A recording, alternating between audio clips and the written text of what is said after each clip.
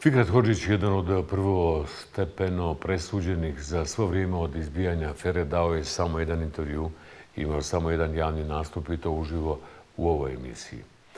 Dobro namjerno, jer to je bio ok momak, znam ga s televizije Hayat, vrijedan, dobar voditelj Dijete Srebrenice. Sugerisao sam u tom intervju da sam ne plaća cijenu afere, da ne ide u zatvor ako bude išao zbog drugih. Da javno kaže kome je otišao novac razlika u cijeni profitu. Da jednostavno ispriča sve kako je bilo.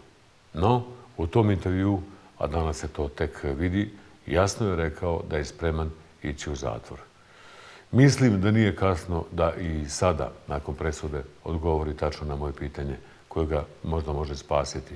Ko je naredio i kome su otišle pare? Senade, u ugovoru kojeg sam ja potpisao, stoji da je neko odobrio nabavku respiratora kojeg sam ja dovezao u Bosnu i Hercegovinu.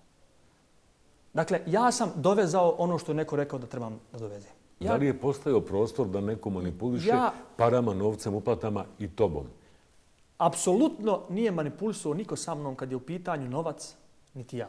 Da li je tačno da ste ti uplatio tolike milijone maraka u Šangaj, a oni će otići nakon toga u Peking, a iz Pekinga će preko nekih računa doći na račun Hajata, Novalića, Izetbegovića, Solaka i ostali koji svi pominju da su u ovoj šemi. Nije tačno. To je pravo pitanje. Nije tačno. I ne mogu da ga postavim Nije dva, tačno. dva sata zato Nije što tačno. ne smijem. Nije tačno. A pošto se ga tražio, evo ga. Nije tačno. Još jedno da ga ponovim. Nije tačno. Ponovite ga deset puta. Nije tačno.